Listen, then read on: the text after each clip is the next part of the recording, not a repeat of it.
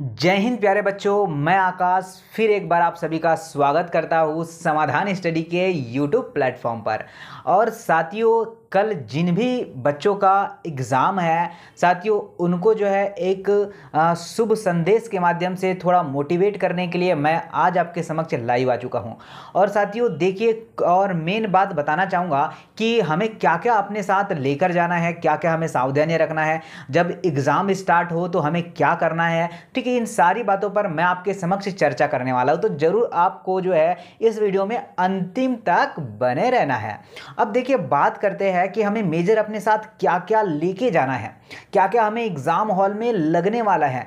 तो first of all बात करते हैं, पहले जो है आपको लगेगा, आपको एडमिट कार्ड, ठीक है, चाहे कलर प्रिंट आउट में निकाले, चाहे ब्लैक एंड व्हाइट में निकाले, आप लोग के पास लगेगा एडमिट कार्ड। दूसरी चीज़ बात कर लेते हैं, दूसरी चीज़ हमें क्या लगने वाली है, आपको एक पासपोर्ट साइज़ फ़ोटो। काफ़ी बच्चों के कमेंट्स आ रहे हैं कि सर, पासपोर्ट साइज़ फ़ोटो वही रहना चाहिए, या हम लोग कोई दूसरी भी फ़ोटो लगा सकते हैं, अगर इनकेस वो हमारे पास ना रहे तो।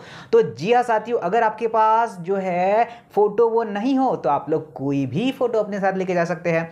उसके बाद क्या करें? ठीक है, आपको जो है अपने साथ एक ब्लू पेन लेके जाना है, जो आपको जो है आपको क्या है, पचास वर्ड का जो है, वहाँ पर लिखना पड़ेगा डिस्क्रिप्शन वहाँ पर लिखना पड़ेगा कि आप इस परीक्षा में क्यों सम्मिलित होना चाहते हैं। साथ में आपको सिग्नेचर भी करना है और थम तो आप वहाँ पर लगा सकते हैं, ठीक है?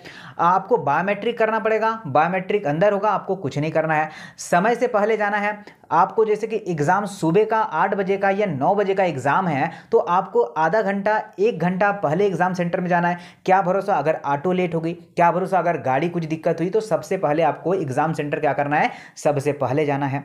उसके बाद क्या करना है? देखिए, आपको वो जब आधा घंटा पहले बैठा लेंगे तो आधा घंटा जैसे ही पहले बटा ले, आप अपने मन को शांत कर लेना, ठीक है? क्योंकि आपका माइंड जो रहता है छिन्न भिन्न हो जाता है। क्या है? आप लोग जल्दी जल्दी जाते हैं, भागे दौड़े जाते हैं तो आपका माइंड डिस्ट्रैक्ट हो जाता है तो उससे पहले शांत करेंगे, ठीक है? उस आधे घंटे में माइंड को शांत करना है। सबसे पहले किस पोर्सन को सॉल्व करें? बात आती है साथियों कि हमने प्रेफरेंस तो बहुत अच्छी की है, पर क्या होता है कि पहले हमने क्या किया है? फिजिक्स को सॉल्व किया है। क्या किया है? पहले हमने फिजिक्स को सॉल्व किया है, और फिजिक्स अगर हमसे ना बने तो फिर क्या होगा? साथ ही हमारा जो जो बायोलॉजी वाला पोर्सन है ना, वो भी गलत हो जाएगा। तो सबसे पहले अपना स्ट्रॉन्ग सब्जेक्ट तो ऑलमोस्ट सारे बच्चों का बॉटनी जुलॉजी जो बायोलॉजी वाला पोर्सन है, बहुत स्ट्रांग है। तो सबसे पहले आपको उसे सॉल्व करना है, ठीक है? तो वो क्वेश्चन कहाँ से मिलेंगे? तो ऑलमोस्ट वो सिक्सटी मार्क्स मतलब कहीं पर भी हो सकते हैं। पहले केमिस्ट्री दे सकता है फिर फिजिक्स दे सकता है, या फिर पहले फिजिक्स देगा, फिर केमिस्ट्री देगा। और साथ ही वो भ्रम में ना रहिएगा, क्योंकि थर्टी थर्टी मार्क्स के सारे के सारे जो है पोर्शन होने वाले हैं। इंग्लिश थर्टी का, बॉटनी, जूलॉजी, फिजिक्स, केमिस्ट्री, सारा थर्टी थर्टी मार्क्स का होगा। तो पहले आप लोग बॉटनी, जूलॉजी को सॉल्व करिए।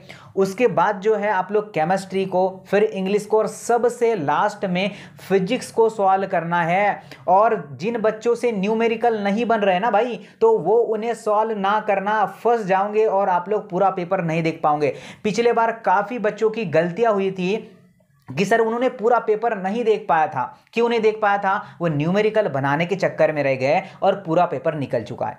ठीक है तो क्या करेंगे? सारे बच्चे ध्यान रखना है कि आपको क्या करना है? न्यूमेरिकल ठीक है साथियों? जितना भी न्यूमेरिकल है ना, उसे अंतिम में सॉल्व करना ठीक है? देख के रख लेना है, कैसा बनता है? टाइम बचे तो सॉल्व करना। अन्यथा देखिए, हमें नाइनटी प्लस मार्क्स चाहिए, ठीक है? हमें साथियों, क्या है? Fifty one out of one नहीं चाहिए और ये कोई ला भी नहीं सकता। वन फिफ्टी वन ठीक है?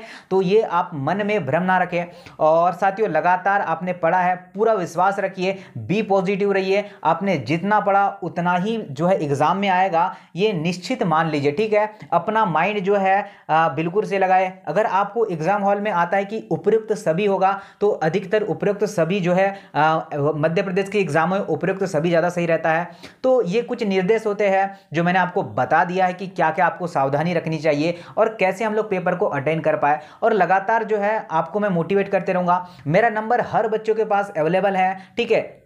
तो मेरे नंबर पर जो है आपको किस तरीके से पेपर आया है और साथियों कितने आपके मार्क्स आए, वो सारे बच्चे जो है मेरे नंबर पर व्हाट्सअप कर देना या टेलीग्राम कर देना है मुझसे कांटेक्ट ज़रूर कर लेना, ठीक है? ताकि मैं अदर बच्चों को बता सकूँ कि किस पैटर्न पर आपका एग्ज़ाम हुआ है और क्या क्या आपको जो है पूछा गया है। वो सारा मुझे बताने के लिए अच्छा रहेगा। या तो पेन पेपर से आप लोग लिख कर सेंड कर सकते हैं अपने अकॉर्डिंग आप लोग जैसा हो वैसा भी सेंड सकते जो है सेंड कर सकते हैं। और साथियों best of luck all the best मैं ऑलवेज आपके साथ हूँ। हर समय साथ रहूँगा, ठीक है? जब जब आपको ज़रूरत होगी, साथियों, मैं आपके साथ बिल्कुल खड़ा हूँगा, ठीक है?